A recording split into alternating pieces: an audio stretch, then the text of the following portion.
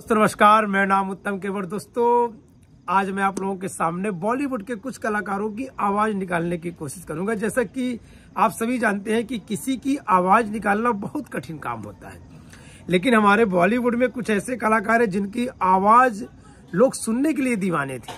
और जब लोग उनकी आवाज़ की कॉपी करते हैं तो लोग और भी दीवाने हो जाते हैं। जैसे अमरीश पुरी साहब, नाना पटेकर साहब, मिथुन दादा राजकुमार साहब, प्राण साहब, ये एक ऐसे कलाकार थे जिनकी आवाज़ बड़ी ही मस्त है।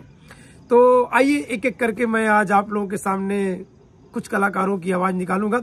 सबसे पहले आते हैं अमरीश पुरी साहब। अमरीश पुरी साहब के एक डायलॉग है। सुनिएगा। अरे ओए ओए ओए ओए ओए, लाले। अरे शांत, गोवर्धन, शांत। मैं जब कोई गोरी तितली देख लेता हूँ ना, मेरे अंदर सैकड़ों काले कुत्ते भौंकने लगते हैं। और उस दिन मैं ब्लैक डॉग पीता हूँ।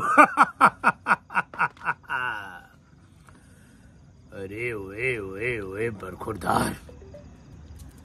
जीवन में कभी भी टेंशन नहीं लेनी चाहिए। बल्कि टेंशन दूसरों को देनी चाहिए। तो ये थे अमरीश पुरी साहब। अब यहीं पर प्राण साहब प्राण साहब का डायलॉग बड़े ही डायलॉग थे। सुनिएगा।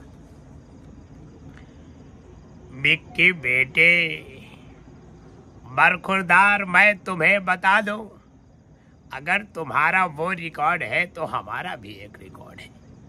हमारी जेल से संगीन से संगीन कैदी जो भी बाहर गया है, तुम्हारे दरबार में दुआ मांगी है तो यही मांगी है कि जेल जाओ तो रघुवीर सिंह की जेल ना जाओ। हाँ। तो प्राण साहब, दोस्तों, जो बॉलीवुड के कलाकार होते हैं, इनकी आवाज़ ही बड़ी दमदार थी। अब अब आते हैं आप लोग सामने मिथुन दादा। मिथुन दादा क्या बोलते हैं? क्या रहे ओए! अरे भोगने को आता नहीं और काटने को चला है। ओए, अरे शंकर दादा नाम है मेरा।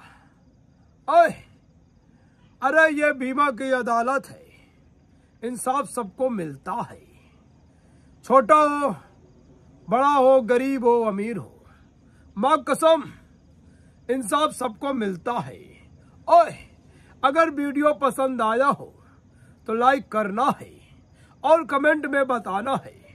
कि आवाज़ किनकी अच्छी लगती है। और अब ये थे। अब ज़्यादा समय नहीं है टाइम भी हो रहा है। तो लास्ट में राजकुमार साहब की सुनिए। राजकुमार साहब डायलॉग मारते हैं।